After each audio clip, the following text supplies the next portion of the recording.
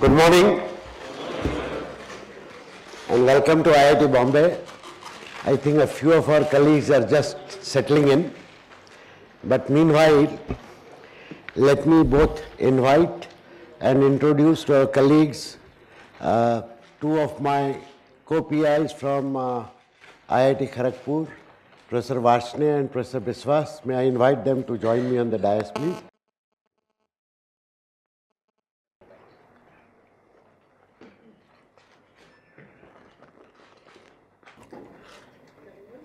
It is not often that we meet the remote center coordinators physically face to face. Once appointed, they work in the background and the interaction throughout the year in connection with different workshops that we have with remote centers is through the workshop coordinators. Of course, some of you turn out to be workshop coordinators for some of the subjects in which you yourselves specialize, but it is not common. Most of the people work remotely. Since the project is completing its second year and there is, it has one more year left, we felt that we should meet you for two reasons. One, we must meet once a year annually anyway. Second, when the project started, we were advised that we should look at possibilities of self-sustenance of the project beyond three years. Because the teachers' training is important, but the government cannot continue funding it in large measures. Secondly, they have to uh, look after teachers from other higher education institutions and also school teachers. So the numbers are very high. And although we have reduced costs as compared to the AICTE approved cost per participant for a two week workshop, they still cannot be met completely by government funding. I had mentioned this at the very beginning that eventually we'll have to work out on a self financing model. I will share with you some of the thoughts that we have and inform you about the decision that we are taking for doing such experimental workshops within the next year in order to ensure sustenance beyond three years of this workshop. But more importantly, we have several points on agenda which relate to the conduct of the workshops at your places.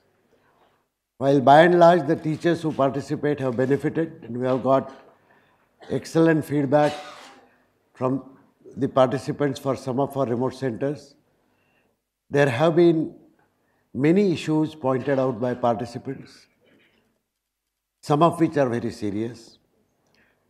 So we thought if we could have a day-long face-to-face interaction, we could discuss these issues.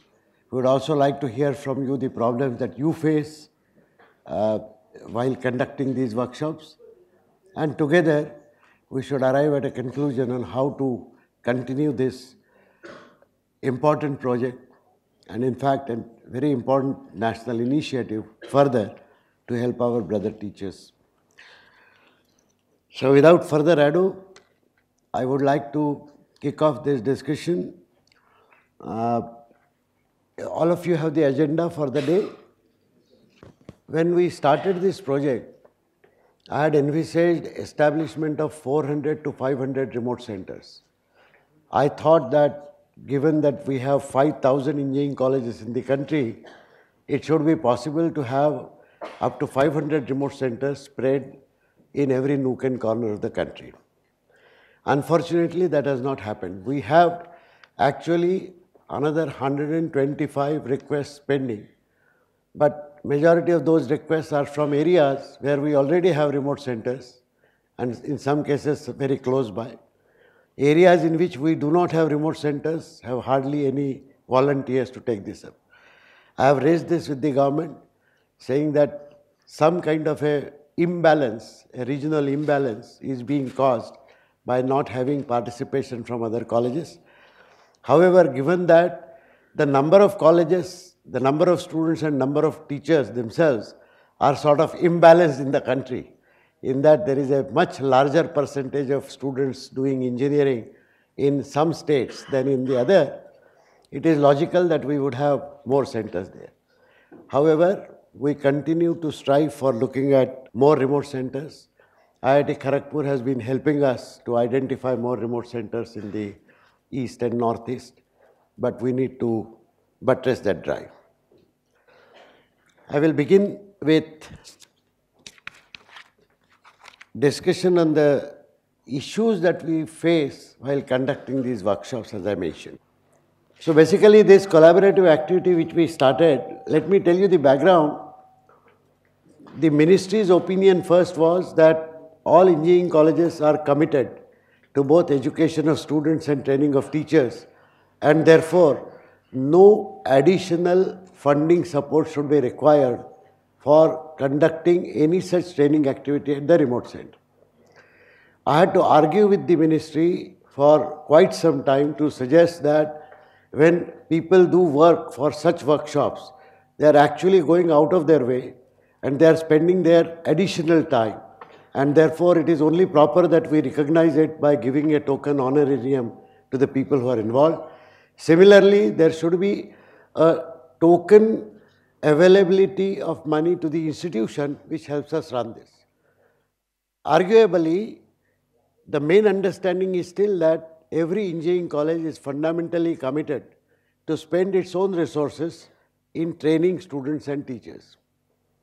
So the revenue model of any college that you see is that there is some funding given by the college, a large funding comes from the accrual of the tuition fees, and some funding comes through the research grants and other grants that the colleges may buy for.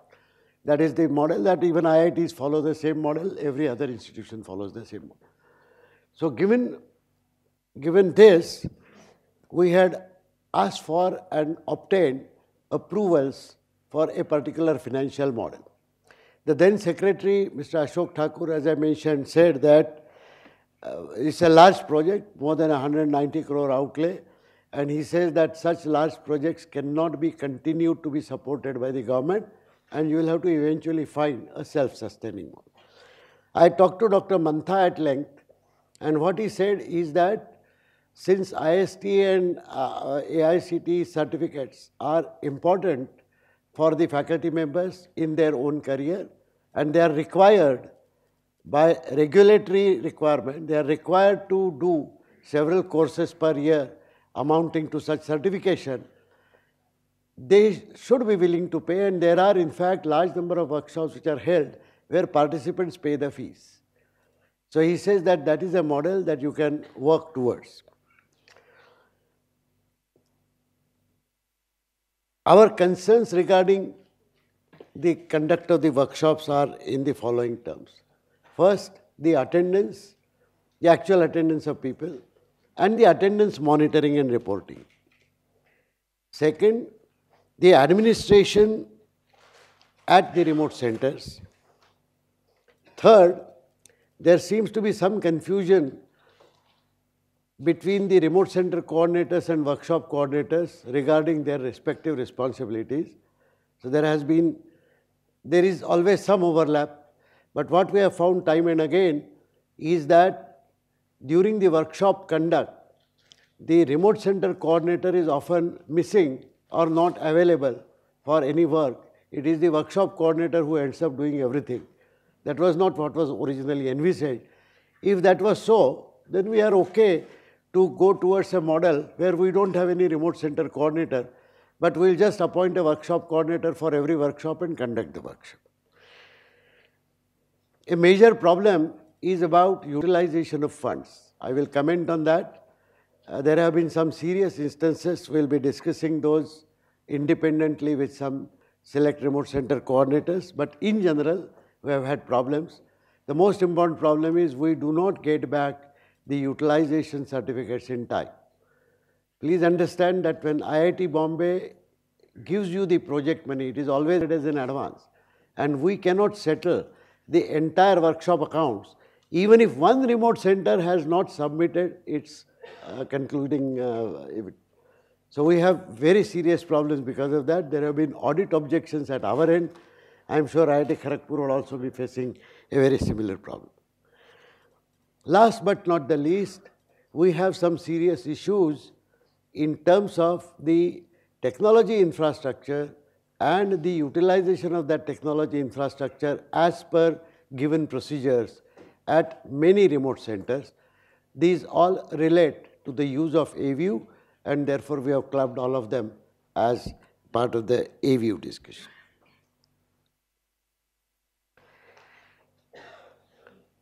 So first about attendance. Now when I had talked to workshop coordinators in the past, they said that the teachers who are attending the workshop do not necessarily listen to them. Now it is obvious that they will not listen to them because they are all peers. In fact, if I am attending a workshop at your end and if I am 20 years your senior, it is unlikely that you as a workshop coordinator will shout at me or will suggest that I should come in time or suggest that I should attend. You have to depend on me doing things on my own. I can understand this, but what I can't understand is that attendance is being marked for people who do not attend. That is patently unethical. Forget other things.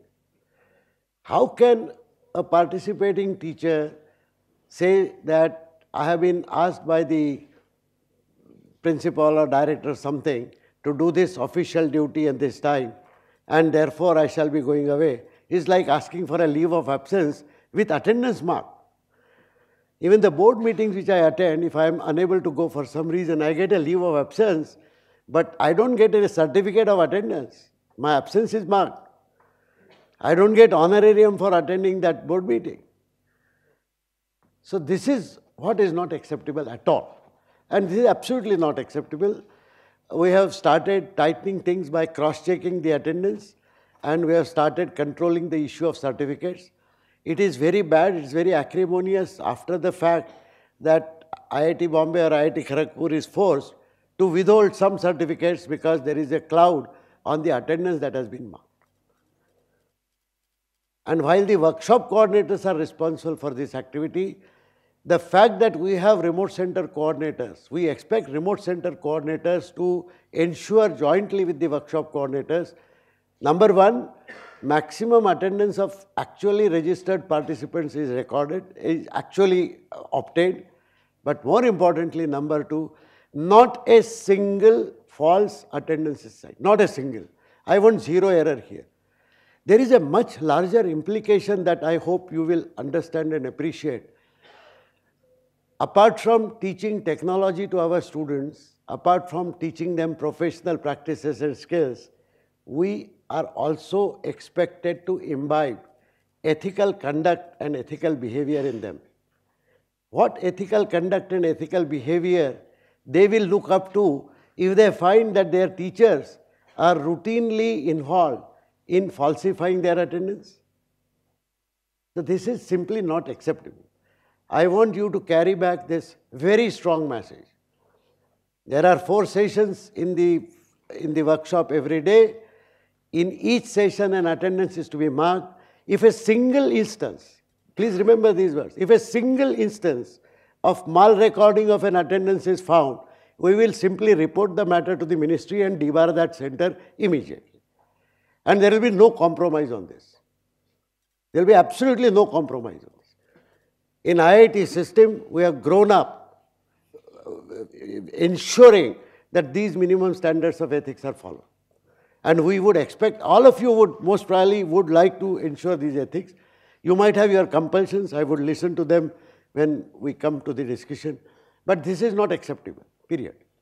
There have been, therefore, instances, Mantha was telling me, Phatak, how are you sure that a certificate of participation, successful participation, has not been issued to a single teacher who misbehaved? I cannot, I cannot guarantee him that today. And the reason I cannot guarantee that is because your institutions, which are conducting these workshops on behalf of IIT Bombay and IIT Kharagpur, are not living up to the expectation. Now, this this cannot be accepted. This is, we will have to figure out what to do, but this is the uh, directive that I am giving to my team and also to IIT Kharagpur team, that in case of any suspicion, of course the concerned teachers will not be given certificates, but we will immediately debar that institution. Single instance. We'll immediately debar that institution. It doesn't matter if we have less number of remote centers, but we would like to have remote centers which hold the ethical flag high on conduct of these workshops. That's the message that we'd like.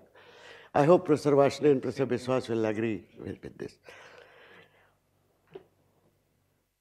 Of course, there is some casual attitude displayed by some people.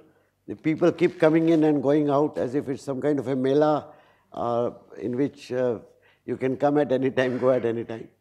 It is quite possible that somebody is a, already an expert in this subject, in which case he or she should not have registered for that work.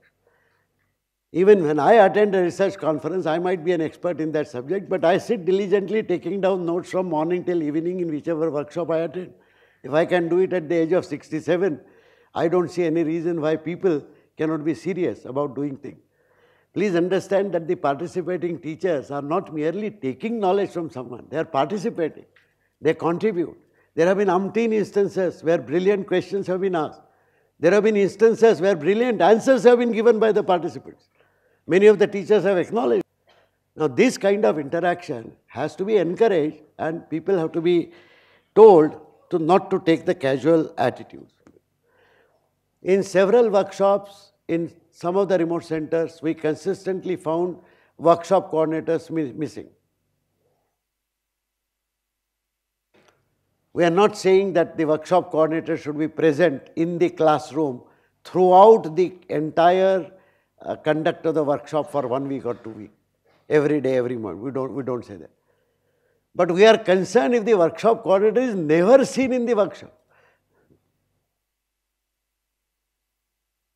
Now, if there is a problem, the remote center coordinator must intervene. And the remote center coordinator, we expect remote center coordinator to be the overall coordinator of all workshops that are conducted in that institution. Now, unfortunately, this activity of coordination is not seen to be conducted very well by the remote center coordinators. That's the reason we are trying to tell you the problem that we face. So this issue is attendance. I hope, do you all agree that the attendance in a, in a workshop where teachers are given participation certificates, particularly when those certificates are presumably having a value for those participating teachers, then any certificate which has a value like a degree, would you issue a degree to a student who has not attended examinations? Never. So how can we issue a, a certificate to a teacher who does not attend and who does not give all the quizzes and who does not make all the submissions? That is simply incorrect and that will not be done. And I do not care if out of 8,000 registered participants, only 1,000 participants get that certificate. I do not care if the money has been spent for all 8,000 participants, I will answer the audit. But we will not issue certificates for participants who are not serious about attending. That is something that I would like you to just note. These are the ways in which we started discovering that there was some problem with the attendance. You will, uh, some of you will know that I have been requesting uh, colleagues from my teams here, as also colleagues from IIT Kharagpur team, to visit some remote centers randomly during the conduct of the workshop and report back their findings. This is a way of sort of independently trying to get a feedback. It's not exactly auditing or monitoring, but what many of my colleagues from Kharagpur and IIT Bombay found set us thinking. We found that in a particular remote center, there were uh, 54 or some such number registered and there were less than five people present.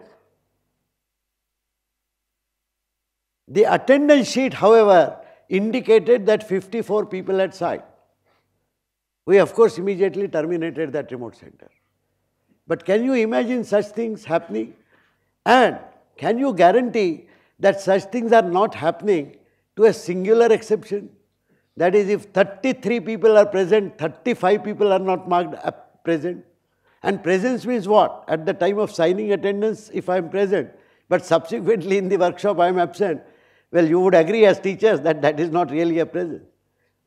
Would you admit your students who come to a lab, uh, sign the attendance sheet and disappear? Would you give him marks for the lab? No.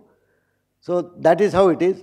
We started discovering this when the new version of the AView, we have now a monitoring facility where we can constantly monitor all the remote centers. And we were aghast to find that in uh, some remote center there were zero people present. Whereas when we see the attendance sheet that is submitted, everybody was present. Now, what is sad is this thing happens. But what is sadder is that we need to discover this through technology mechanisms. That makes me more sad. I would expect an honest recording and response. If that does not happen, I think you need to pull up your workshop coordinators. This will not do. And please note that you as well as they, as well as your head of the institution are responsible for conduct of this workshop. A teacher's training workshop in the calendar, annual calendar of the institute may occupy a very short uh, uh, span. But please remember the government is funding that money and if we are spending government money, we are accountable to the public, which is, we're, we're paying public money. Please note that amongst the arguments that I had to have with uh, the ministry, a major argument was whether such funding support can be extended to non-government colleges. And I had to argue that Indian citizens study in all colleges. And if our job is to support Indian citizens who are teachers, then we have to support them through all kinds of institutions. I won the argument where they permitted me to make no distinction between a government institution and a private institution. I think that was a major battle that I won. But if I won that battle just to get this kind of thing, then I suppose they will all laugh at me, shout at me, and throw me out for the next proposal. So this, please help me, this should not happen. The participation is not adequate at many places. There are many reasons, but we would expect not only workshop coordinators, but the remote center coordinators also to help garnering the larger participation. More importantly, when the participants come, the general queries, not queries related to that particular workshop or that subject, but general queries regarding to related to conduct of workshops are not answered. We would expect remote center coordinators who understand the entire gamut of conducting that workshop should be responsive and responsible for handling. In fact, I would strongly suggest that unless there is a strong coordination between the remote center coordinator and the workshop coordinator, I think there will be always some problems in conducting the workshop. I would request you to ensure that co coordination. After all, it is for reason that I have convinced the ministry to recognize the role of both the remote center coordinator and the workshop coordinator in the conduct of the workshop. Now, the amount of honorarium may not be a very large amount, it's a token amount, but we are honoring the people for their contribution and we would expect that contribution to come. The participants' attendance is not given in time. Unfortunately, how one bad thing leads to another. Because we found a lot of problems with attendance, we have started insisting on signed attendance being given at multiple times and submitted every day. So you see administrative work has increased and for no reason or right. Frankly, for the community of teachers, I should not be required to record attendance. A teacher is expected to be self-controlled, self-motivated, is expected to come. If that happened, half the burden of my teams and your teams will reduce. But because that does not happen at some places, everybody ends up doing extra ghodagiri of recording attendance and scanning and sending and so on. Sadly, we have no substitute because we are still accountable to AICTE, which has approved the ISTE certificates. We are accountable to ensure that only those people who attend workshops properly and who submit all their assignments are given certificates. We had provided for some TAs. The provision of TAs would vary depending upon the type of subject that you have, depending upon the type of assignments that we have. Unfortunately, and I will make this comment later when I come to the financial due diligence, what we find is whatever is the amount of honorarium that has been allocated for that remote center based on the number of participants and whatever be the number of TAs which fit into that allocation, those many number of TAs are exactly allocated by every remote center, whether they are useful or not. In several of our visits by our teams, sadly we found that TAs were not available during the lab conduct at all.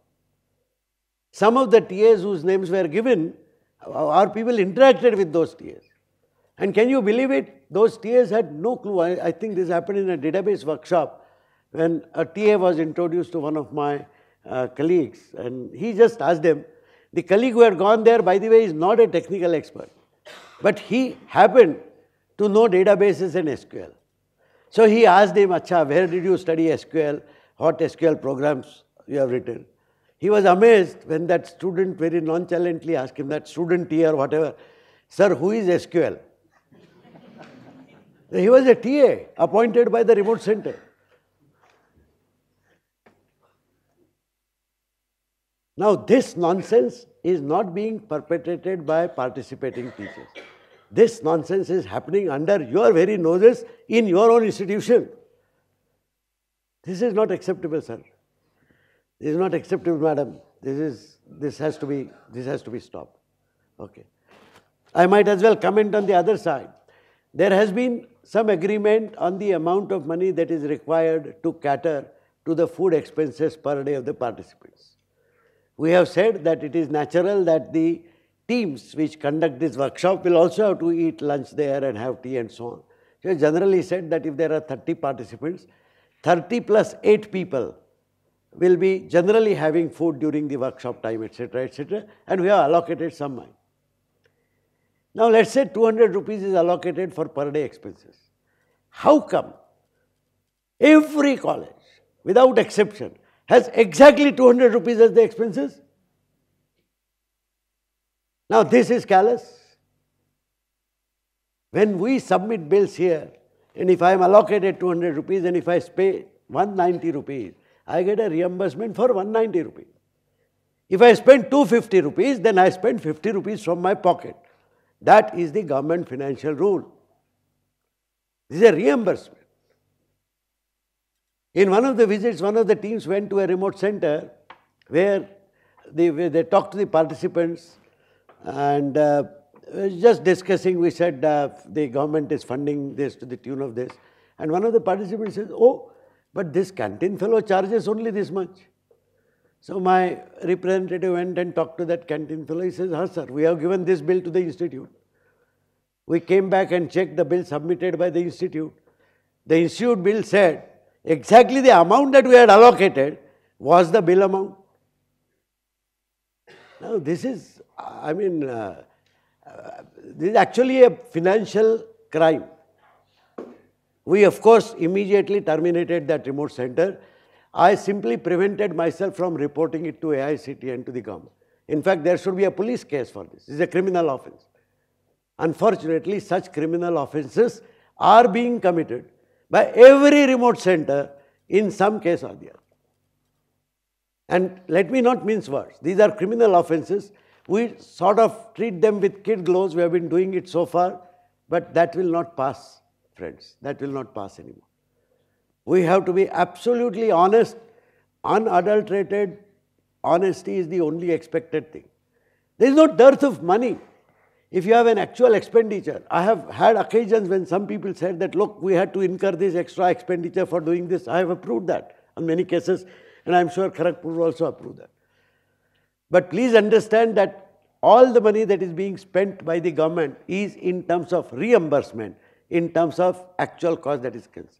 The only lump sum amount that has been paid is the lump sum amount that is paid to your institution for a conduct of a workshop. And I think there is a lump sum amount for miscellaneous uh, expenditure that we pay. Because we cannot anticipate, you cannot anticipate. Generally, that amount was agreed upon in our discussion earlier. And by and large, people seem to be following. Yet even in that miscellaneous amount, we don't get bills which are less than that or more than that. We get a certificate of having spent exactly the same.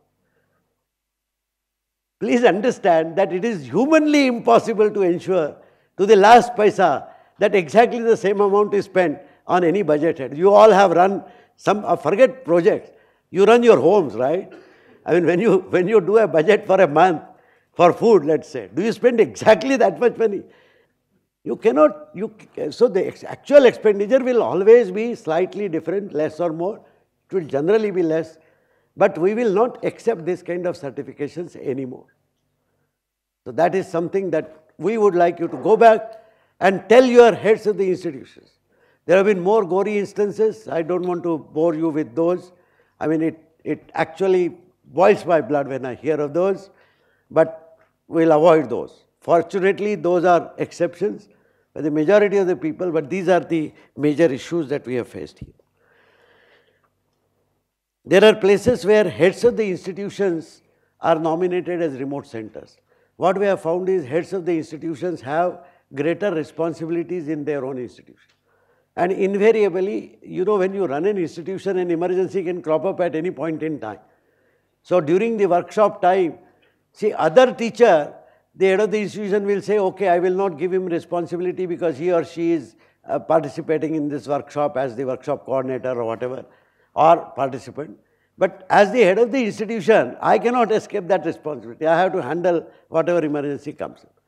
Our advice is that this should be, in general, avoided. So we would like to know very specific reasons from the institutions which cannot find a remote center coordinator other than the head of the institution. If we are not convinced, we will stop that remote center and go over to some other remote center. Because we have seen problems coming at some places because it is not always so, but it is in general preferable. There is another reason, by the way. The reason is that through these mechanisms, we would like many teachers in every institutions to come up and take up leadership roles, to come up and organize things, and if I am the head of the institution, actually, I should be looking for taking a younger chap and giving him or her the responsibility of running things so that that person is trained in the leadership lab. That is what is expected and that is what we would like. Remote center coordinators are changed without intimation to us. Now we would expect the first information to come from the existing remote center. There have been instances when one remote center coordinator left the job, which is perfectly fine, because it's a free country, went and joined another institution. The head of the institution had forgotten that there is something called a remote center coordinator, so he did not do anything. With a lot of interaction, we got a new remote center coordinator appointed, but we did not know it in time. I think if I have been given the responsibility of a nomenclature, it may not hold very great powers or anything, but that's a responsibility then the responsibility also includes my intimating to IIT Kharagpur and IIT Bombay that look, for this, this reason, I am no more a remote center coordinator. Either I have left the job or somebody else has been appointed. And if you know who is the new person, the new person's name also should be communicated. Because our contact point primarily in the institutions still remains the remote center coordinator. Of course, during the workshop time, we interact with the workshop coordinators. Many remote center coordinators are absent during the workshops. Again, this is fine. The workshop coordinators are what we expect to be present uh, because that is the subject specific workshop. But a remote center coordinator being completely absent throughout the entire duration of the workshop is not very, is not very fruitful. So there should be at least some intimation that look, I am the remote center coordinator at such and such place all mechanisms uh, uh, all have been properly executed, registration is done, the workshop will start on such and such date. However, I am required to be busy in this, this, this thing, therefore I will not be personally present during the conduct of the work. A two-line note would be sufficient. We do not get any such note from any remote center. So we would expect remote center coordinators like the workshop coordinators to kindly keep everyone informed. Then we will know that in case of an emergency, remote center coordinator is not available. We have to contact the head of the institution directly or expect the workshop coordinator to take up the additional responsibility. Now, the last one, names of staff keep on changing for the certificates and for, for fund settlement. This is something, the names can keep changing before the beginning of the workshop. How can names keep changing after the end of the workshop?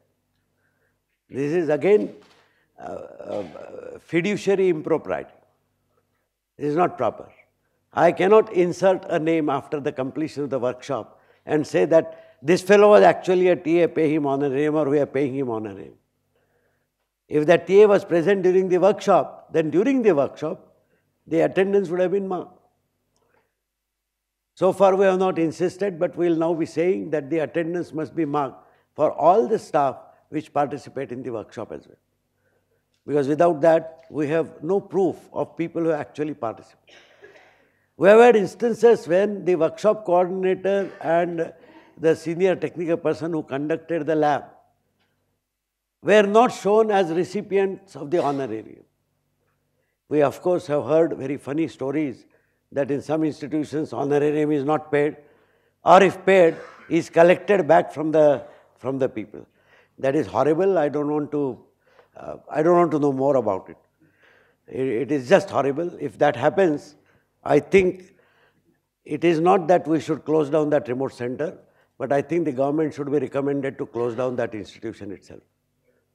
It, this, is, this is unacceptable callous behavior, unheard of in most academic institutions across the world. Only in India seems to be happening in large numbers. But that is something that I cannot help. I will listen to you in private in case you wish to discuss these possibilities because we get anonymous letters, but we do not know what to do about such things. We even had, uh, you know, we followed a method of ensuring that fund transferred in the accounts uh, should be uh, should be shown to us, etc., etc. So it's very, it, it has resulted in a very peculiar thing. One head of the institution told me, Phatak, why are you increasing my administrative work?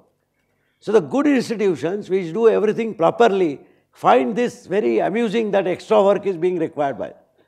The bad institutions which are not doing things properly, okay, hate this process. But they are smart enough to find alternatives to this process. So apparently money is deposited in the account. Suppose uh, he, is, he is the person who has done the work and the honorarium is to be paid to him. I am the head of the institution. The money goes into his account, his account book. I take a Xerox copy, whatever, submit it. IIT Bombay, IIT Kharagpur is happy. Next month I tell him, boss, वो institute को इतना पैसा ये account में वापस कर दो. Now, I mean, I, I don't know what to say about it. Uh, I think it is beneath our combined dignity to comment on it. But if this is happening, this has to be stopped. And this has to be stopped by people within the institution. This cannot be stopped by external agencies. IIT Bombay and IIT Kharagpur are not going to take responsibility for overall better financial behavior of the institution. That responsibility has to be discharged by individual institutions.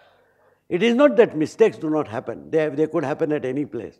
But by and large, this is something that should not be accepted. The registration in some of the remote centers has been very low it is quite possible that there are not enough teachers in that region for a particular subject for which the workshop is announced.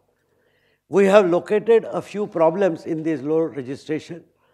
One of the problems is that if the workshop is not announced well ahead of time, then there could always be an issue. We have decided that the workshops for the summer will be announced pretty much in this December month itself. And we will have adequate time and we will uh, additionally support information dissemination to all participating teachers ahead of time.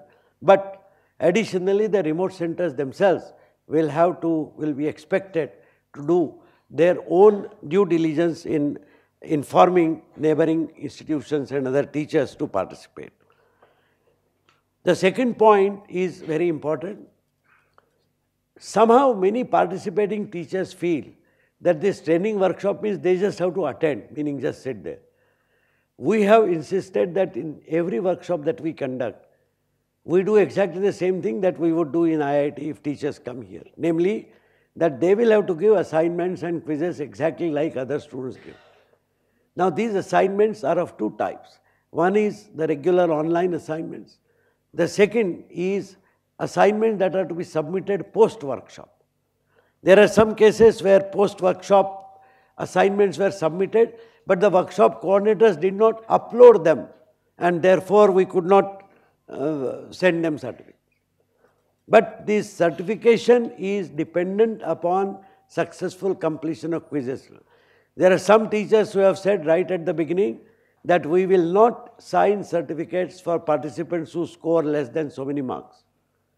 And that is also correct because after all, if I am being certified as an expert in some subject X, then I should demonstrate some definitive competence in that subject. And that demonstration can only happen through quizzes and assignments. There is no other way. After all, we, we examine our students in exactly the same way, isn't it? We don't give students, say, 65% marks if the student has just attended all the classes. The student has to give exams, do assignments and so on. There are instructions which are given to the workshop coordinators. I have suggested to my team that the instructions be copied to all remote center coordinators and a written receipt by the workshop coordinator and the remote center coordinator should be obtained. A receipt, not financial receipt, but a joint email or joint letter which says both of them have read the instructions and that they undertake to follow them. I think this simple fact will force all our remote center coordinator friends to at least look at the instructions which could be specific for every workshop. They may change from workshop to workshop. As I just mentioned some time ago, the guidelines that are given are not followed. So there are several participants who submitted their assignments, but the workshop coordinators did not upload those assignments. And as a result, Professor Kameshwari Chebrolu refused to uh, uh, sign the certification. So uh, she said, this is not all. In fact, she had put very stringent conditions of even passing and then uh, submission of assignments, etc., etc. And frankly, there is nothing wrong with it. There will be some lenient teachers, some strict teachers, and those who conduct the workshop, they define the modus operandi. And if they have defined the modus operandi, which is defined upfront, then it has to be followed exactly like.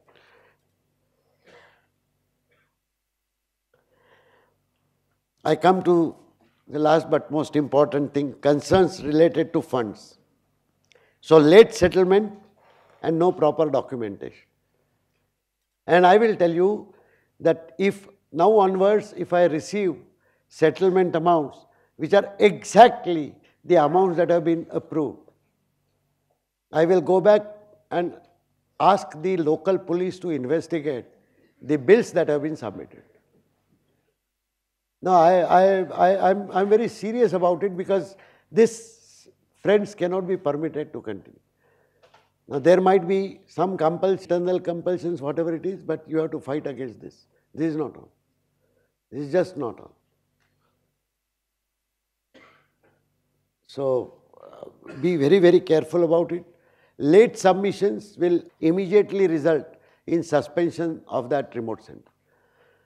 I'm having a PRSG meeting very shortly, but when I talk to people like Professor Nigwekar and others who even Ramadorai, who is on our PRSG, even we have got stalwarts to assist us. They are the ones who are sort of telling us uh, how to go about it and how to handle things and so on. So they are saying that while your penchant is to get more and more remote centers, you must also insist on the right functioning of the remote center. Otherwise, without any hesitation, stop those remote centers. It does not matter if you run only with 50 remote centers and train only 1,000 people that is perfectly fine. So this kind of thing will not be acceptable. There are honorarium issues. There are multiple honorariums which are taken by the same person claiming to have played different roles. It is possible that sometimes it may happen. But in one particular case we found, I will not name the center or the person, the same person claiming to be the remote center coordinator and the workshop coordinator Whereas we knew that the workshop was actually conducted by someone else. Because during the conduct of the workshop, my faculty had interacted with that remote center and the workshop coordinator was different. So when I located that and I said there seems to be something funny here. So my team said, sir, that is why we have come to you. So we wrote a letter saying there seems to be some discrepancy because as per our records, this is the case. We got a sorry letter with the change. Now this is, I do not know how this happened. So do the papers which come to us pass through remote center coordinators at all? The remote center coordinator sends them to us. So remote center coordinator is singularly responsible for the certification that you give. And again, I am not mincing any words. I hope to avoid this, but if by chance, if I am required to initiate a police or CBI inquiry, it is the remote center coordinator whose signature is there on that paper. Please make sure that what you sign is both correct and accurate and is as per proper procedure. Otherwise, I do not want any one of you friends here to get into unnecessary trouble because you bowed down to some pressure internal. That is not all. We, we, must, we must behave correctly for it is required and we must also behave correctly because we are going to be role model. Like it or not, our students are smart. They hear words, they see things, and you know, in every generation, students have always been smarter than the teachers. When we were students, did we not believe that we are smarter than the teachers? We did. The current students behave exactly the same way. And they actually are. They are more street smart. And they may have a stony face when they talk to you, but they see, they think, they make assumptions and they make conclusions. And that is where it is important that our behavior be scrupulously perfect. The honorarium to support staff is paid through cash payment in spite of the instructions. Again, there is a problem. I have met some uh, uh, institutional chiefs who say that it is silly for us to write checks for small amounts. He asked me one question, Phatak, in IIT Bombay, aren't there any cash disbursements done? I said, there are a few, but most of them we do by accounts transfer to the bank, because that is the easiest mechanism. But in some institutions where the automation level and connectivity to bank is not so much, there may still be any cash payment. The reason we were forced to state this is because of the problems that we found elsewhere. So I, I suggest we, if you have any opinions on these issues, I hope you are making notes, either mental notes or notes. But when you come back for discussion, I would expect you to tell us exactly what, what are the issues that you, you face related to these things. We seek solutions for doing this.